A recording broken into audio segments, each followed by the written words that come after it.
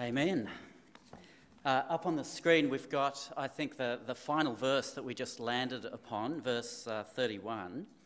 Um, we're going to dive straight in today. This is a wonderful passage.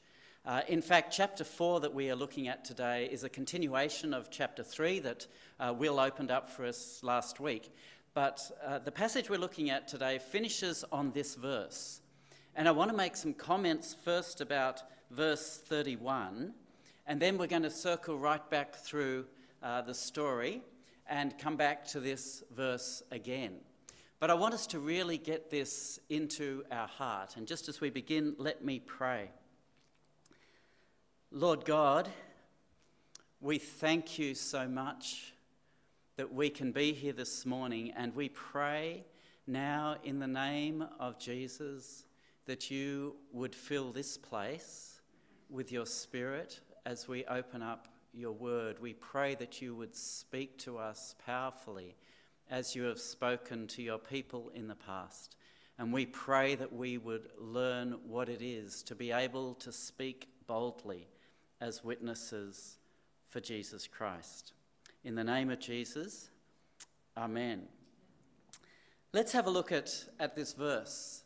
It's the final one in our passage today. After they prayed, the place where they were meeting was shaken, and they were all filled with the Holy Spirit and spoke the word of God boldly. There are quite a few things that are packed into this one verse. First of all, notice that this is just after a prayer meeting. We're going to be finding, as we've just heard, as Phil was speaking to us, this was a meeting in which all the believers had got together in a time of considerable threat, and they had cried out to God, and they had cried out especially for one thing, and that was boldness. That teaches us from the get go something really interesting. It seems that they didn't have it within them by themselves. Otherwise, why would they have cried out to God and said, We need this boldness from you? But they did. They prayed, and God answered. It seems straight away, we can see here in this verse. After they prayed, the place where they were meeting was shaken. It was like an earthquake in the room as soon as they had prayed. It would have been quite startling, I should think. Can you imagine us sitting here and praying and suddenly the entire ground starts shaking? That would shake us up a bit, I think, wouldn't it? Might be a good thing for us. but we're told in this verse that they were all filled with the Holy Spirit. Note two things about that. Firstly, it says all of them. This wasn't an answer just for certain people in the congregation. It wasn't an answer simply for the apostles, because this was an entire group of the believers in Jerusalem at the time. This was all of them who were suddenly and powerfully filled with the Holy Spirit. The other interesting thing about that is this is chapter 4. Two weeks ago, Phil took us through chapter 2 in Acts, which is the day of Pentecost. That was the day in which the Holy Spirit was poured out for the first time upon the church. In some ways, it was unique. But this is interesting, isn't it?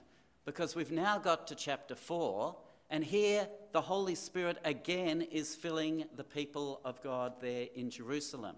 It's happening for a second time. So, although there were certain things that were unique about the day of Pentecost, we learn from here and from other places in the book of Acts that being filled with the Holy Spirit is not just a one time event. Rather, it is an event that we should be looking for constantly. That we would be filled with the Holy Spirit of God. And look at the result. Not only were they all filled with the Holy Spirit, with the Holy Spirit, they spoke the word of God boldly. It's a really interesting word at the end of that verse boldness. The Greek word behind that is a larger word, probably, than the English word boldness. Yes, it can be translated boldness, as it is here. It can also be translated courage. In fact, in verse 13, that we'll look at a bit later, we find that exactly the same Greek word, parrhesia, is translated courage. But it's even broader than that. We think of courage and boldness perhaps in one sort of domain of life. But it can also equally be translated outspokenness. You know that sort of thing where you can't help but speak about something? That's this word in the Greek. The disciples, it seems, could not help but speak about what Jesus had done for them. There was this sense of outspokenness. And this same word can be translated freedom. What a wonderful thing. They were now filled with the Spirit of God and were able to speak the word of God with boldness, with courage, with outspokenness, with freedom. Don't we need that today? So many of us have forgotten what it is to pray. I say this of myself as much as of anyone. In fact, many uh, observers of the Christian church have noted how, in the past couple of generations, prayer has greatly diminished amongst the people of God in the Western church. It's not quite the same story out there in parts of Asia and Africa and Latin America. Um, there, often the believers really know what it is to pray. But in the Western church, there has been this great diminishing of prayer. In fact, prayer so often now has become for us a small thing. I think it's it can be really instructive to remind ourselves what prayer was like for the early New Testament church and to compare it with what uh, prayer has become in our own lives.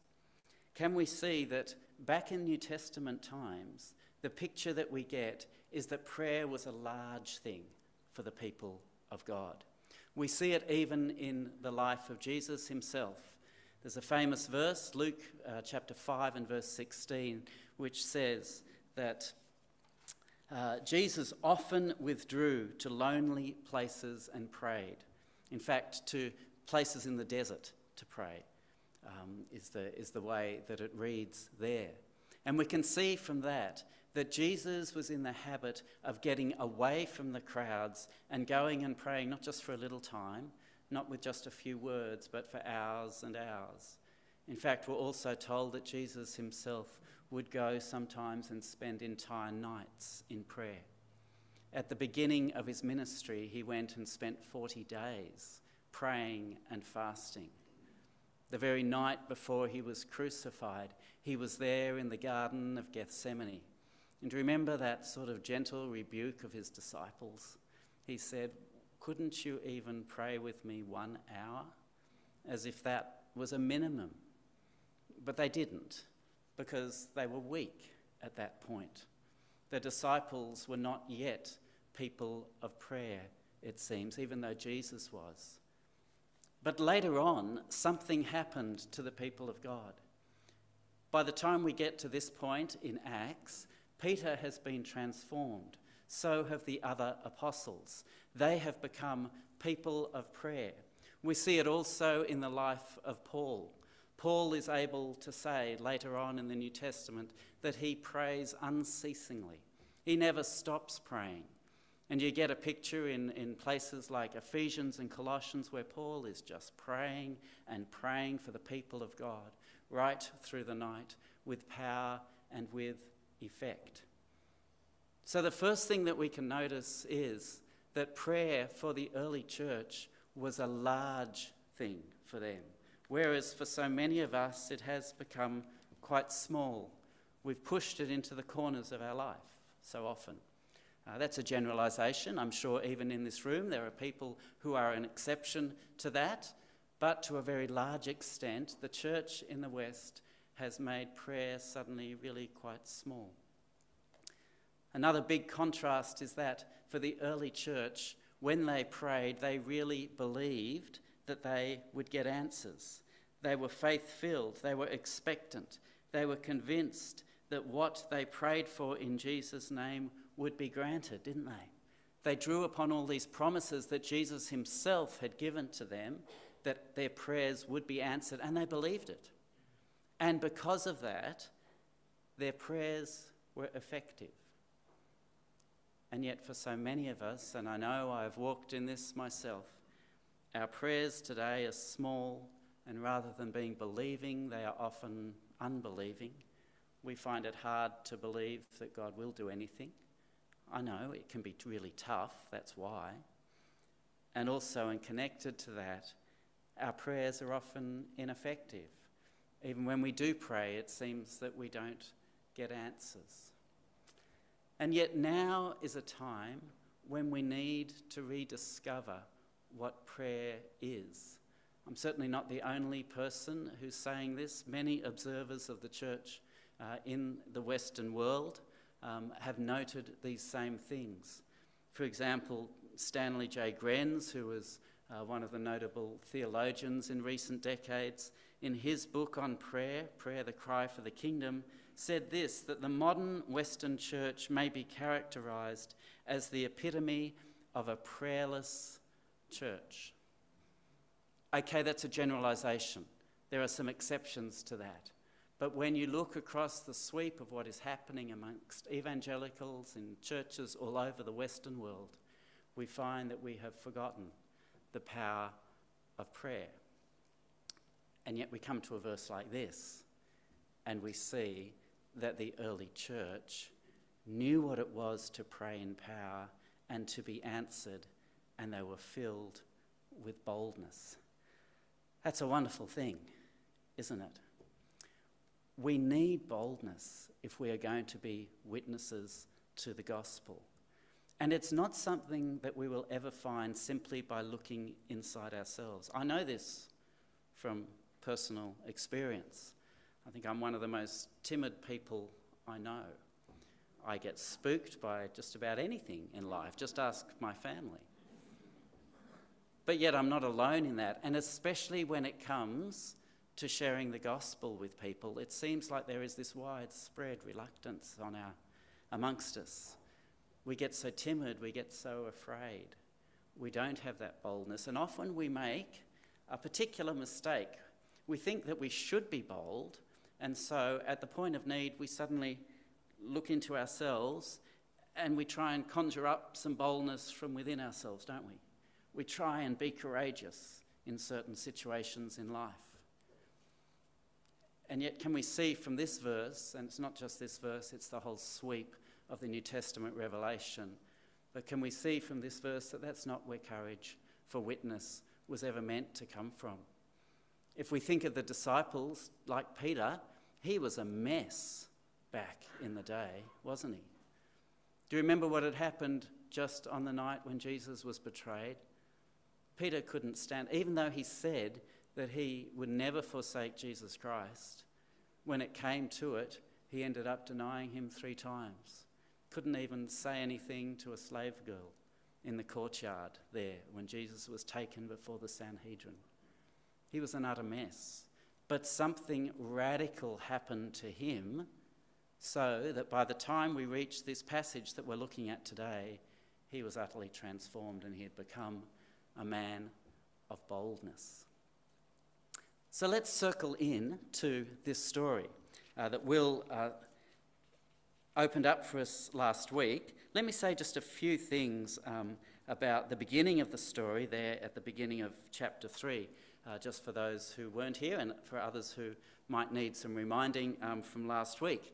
This is a story just after the day of Pentecost. We don't quite know how long. And Peter and John are going up to the temple, interestingly, to pray. It's three in the afternoon, and as we saw uh, last week, there was this man there who had been lame from birth. He couldn't even get into the temple himself, he had to be brought instead by uh, his friends, and they would plonk him down there in the temple courts. He couldn't uh, move, but he could beg for a living. And there was this man at the gate called Beautiful. And of course, he asks Peter and John for money. Now, let's look and see what happens. You might remember from last week. Peter looks straight at him in verse 4, as did John. Then Peter said, Look at us. So the man gave him his attention, expecting to get something from them. And then, verse 6 Peter said, Silver or gold I do not have, but what I do have, I give you. Suddenly he's got something. Back in his previous life, he didn't have anything to give of any spiritual value to anyone. He was one of those who just ran away.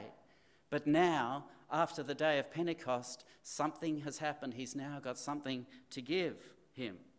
And he says, In the name of Jesus Christ of Nazareth, walk. And he takes him by the right hand, and this man gets up, and his feet and his ankles are healed, and he's finally able to do something he has not been able to do in more than 40 years. He's able to walk, he's able to stand, he's able even to leap. It's quite dramatic there in the temple courts that day.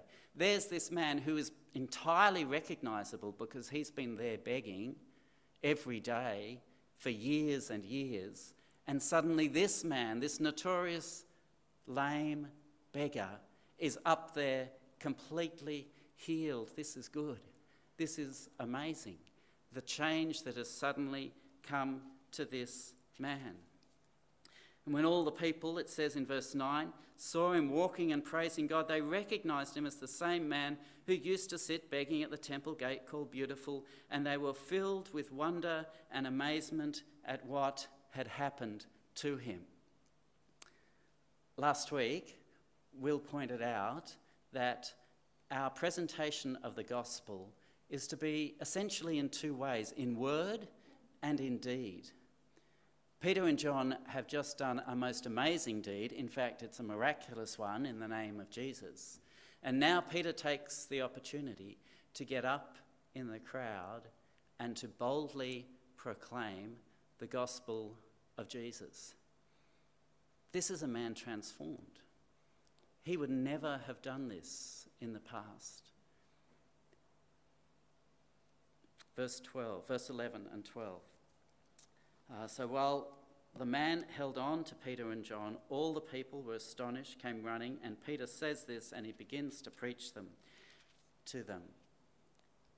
And he begins to preach this message that ends up a powerful evangelistic message. He's not afraid to say it like it is. He tells them that they need to repent.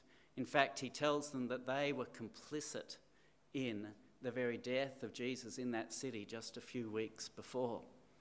And he tells them to repent, and he tells them about the death of Jesus for them, and he tells them about the resurrection of Jesus. And he makes this massive impact upon the people. It seems there are hundreds there, if not thousands, because later on in chapter 4 we, we learn that the number of believers rises to 5,000 men and more because of this particular day. Hundreds of people are there and they are being uh, deeply convicted by the Spirit of God. And so we come to our chapter today. And the reason that I wanted to recap that story was because chapter 4 opens when Peter is literally in mid sentence.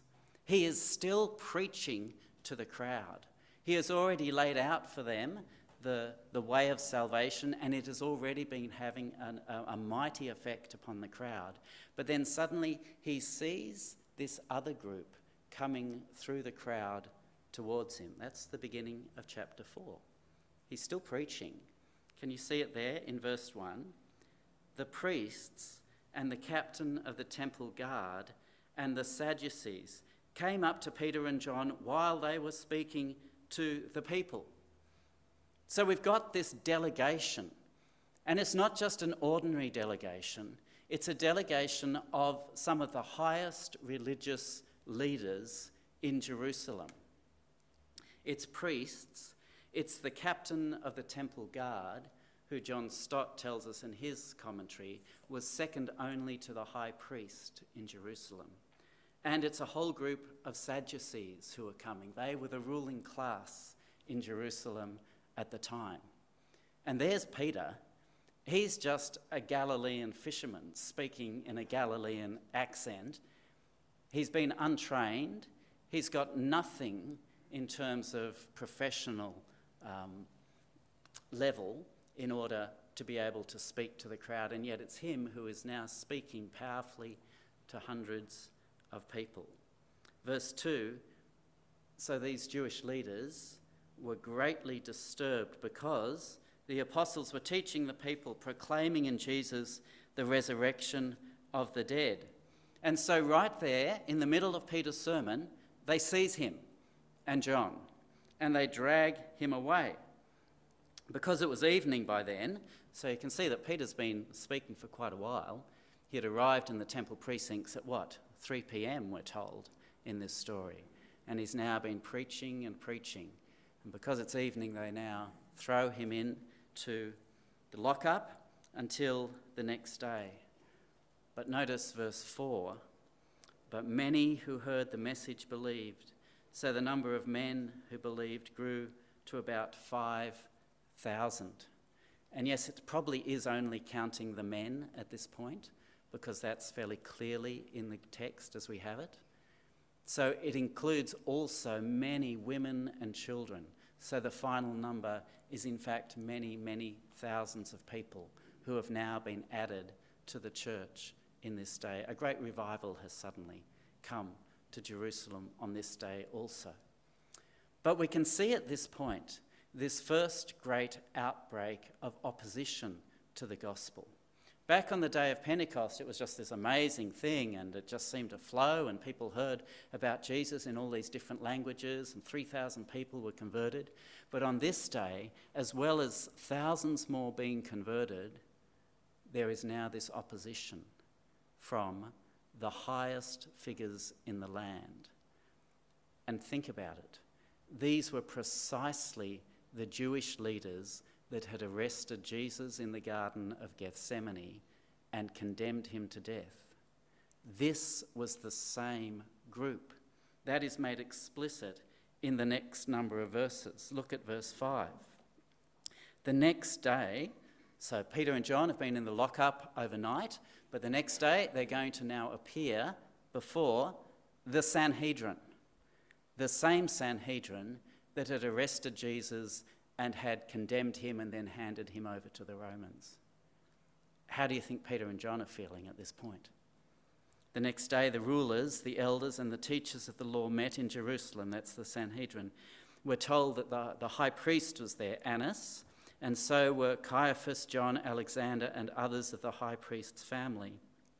They had Peter and John brought before them, and they began to question them By what power or what name did you do this? And it seems that they also had the lame beggar from the day before, because there's a reference to him coming up also in the text. So he was there as well.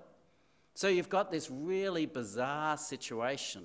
They are trying to come down heavy on Peter and John, say, How on earth did you do this? But there is absolutely no question about the power of it because the man is just there, standing, no longer there on the floor. The lame man has been healed, and there he is in the crowd still. Verse 8. Now, before we look at this, think again. Well, what would Peter be thinking? Do you remember the last time he was anywhere near the Sanhedrin? It was on that night that Jesus was betrayed. He had already fled with all the other disciples when Jesus was arrested. He had just a little ounce of courage to go into the courtyard but no further. But when it came to it, he denied Jesus three times. He had no, no boldness, no courage, no outspokenness, no freedom. He was a broken man. Now he's up before the same crowd, the same high priest. How's he going to react? That's why verse 8 is so extraordinary, because it's so entirely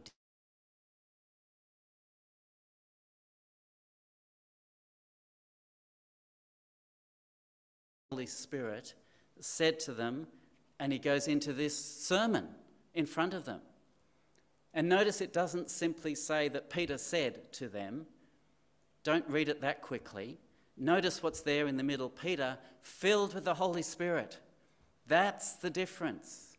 Here he is. He's already experienced Pentecost. Now, again, he is filled with the Holy Spirit, and so he is able to speak to them with incredible courage and boldness and outspokenness and freedom.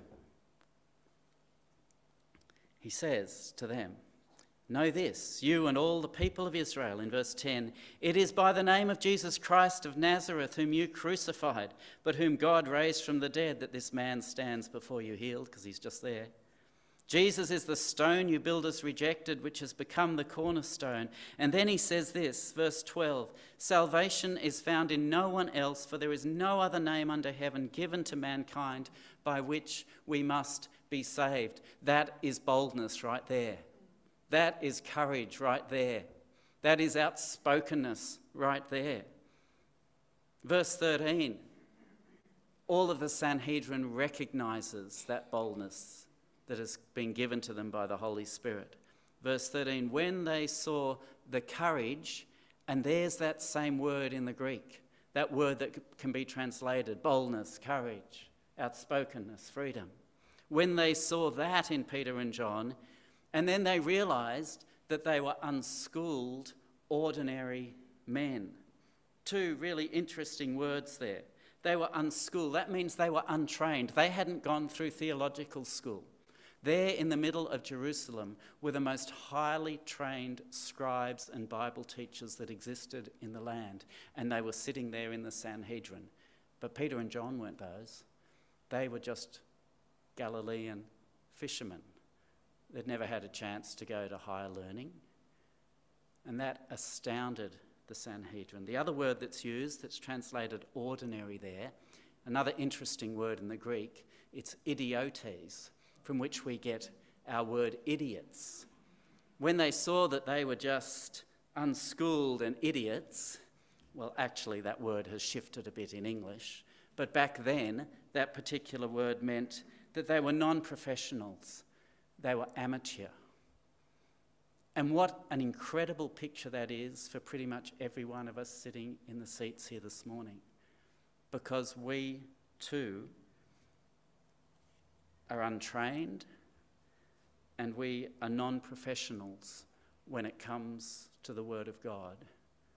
And so were Peter and John. They were just Galilean fishermen, and yet they had been filled with the Holy Spirit to the extent that they were now being used to impact thousands of people. Isn't that amazing? It's us. It's us as ordinary disciples that the Holy Spirit had taken a hold of for the gospel of Jesus Christ. What are we going to do with these men? the Sanhedrin says in verse 16. Everyone living in Jerusalem knows they have performed a notable sign, and we cannot deny it.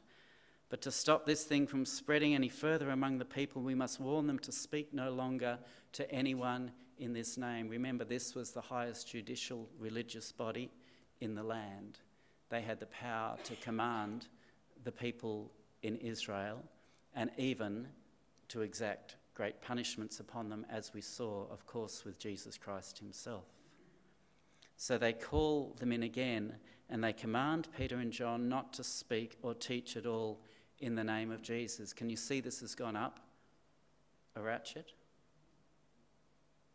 Now they are threatening them, saying, You must not any more speak about Jesus. Now, what's Peter going to do? with his record. He's still filled with the Holy Spirit. He's still bold. He's still courageous and outspoken and free. And so he says this Peter and John replied, Which is right in God's eyes, to listen to you or to God? That's such a good question to put to religious leaders, isn't it? Religious leaders often want you to listen to them, but of course, they also believe that God is the highest power so, of course, the real answer to that question has got to be well, you've got to listen to God. And then, verse 20 As for us, we cannot help speaking about what we have seen and heard. And this totally undoes the Sanhedrin that day. They just don't know what to do next. There's still this big crowd around who've been affected by this miracle. They've still got this man there who has been healed and is on his two feet. So, after further threats, they let him go. But you can see how opposition now on the church is tightening. It's getting worse for them. And in fact, it's going to get worse, and we'll see that in coming chapters. And that leads us then to the final little section that we're looking at today this prayer meeting. Peter and John get released, and they go back to the other believers. This is verse 23 and onwards. On their release, Peter and John went back to their own people, reported all that the chief priests and the elders had said to them. When they heard this, they raised their voices together in prayer to God. And they begin to pray. Sovereign Lord, they said, and they point out that God is the very one who has made the heavens and the earth. He is the Lord of all. We need to be reminded of that, especially when it comes to prayer that God really is the sovereign Lord of this entire globe, of this entire universe. That's what they focus upon. And then, interestingly, they then focus upon a couple of verses from one of the Psalms. And it's from Psalm 2. And they quote it back to God, which is a good practice in prayer, actually, at least for us. I don't know how much it does for God, but it certainly helps us they quote back these two verses from Psalm 2. Why do the nations rage and the peoples plot in vain? Why do the kings of the earth rise up and the rulers band together against the Lord? It's a wow of a psalm, by the way, if you know it or if you want to go and look at it. That's the psalm which shows that the entire world is against God and all the leaders of the world are against God. That's why we live in a godless world. And yet, in that very psalm, God declares that He is actually the one in charge. And more than that, that He has placed His own Son, the Messiah, to be King of all the earth. They quote that back to Him and then they link it with what has happened so recently in Jerusalem with the Jews and also with the Gentile leaders. Herod, Pontius Pilate met together with the Gentiles and the people of Israel in this city, they say in their prayer, to conspire against your holy servant Jesus, whom you anointed. They did what your power and will had decided beforehand should happen. But now, verse 29, this is the great prayer. Now, Lord, consider their threats and enable your servants to speak your word with great boldness. There's that word again boldness, courage, outspokenness, freedom. That's what they pray for. They also pray for miracles, and that we see later on in chapter 5 at the hands of the apostles. But this cry for boldness by the Holy Spirit gets immediately answered. And a bit unlike the miracles, which tend to be here and there, and often in the hands of the apostles, this holy boldness is given to all people. And so we come back to that final verse we're looking at. After they prayed, the place where they were meeting was shaken, and they were all, all of them, all of the ordinary Christians living in Jerusalem at the time, they were all filled with the Holy Spirit and they spoke the word of God boldly. Let's pray. Lord God, we thank you for your word. We thank you so much that you have given to us this enormous gift of the Holy Spirit and that one of the great cries of our heart is met by the ministry of the Holy Spirit, that He will come and fill us and give us boldness and courage and outspokenness and freedom to speak in ways that we cannot find in ourselves. Lord, we pray that you would um, move amongst us so that this can become a reality uh, in more and more amongst us, Lord, as we prepare to be witnesses for you in our own communities. Lord, let it not be in our own strength, but with the mighty strength of Jesus. And we ask this in the name of Jesus. Amen.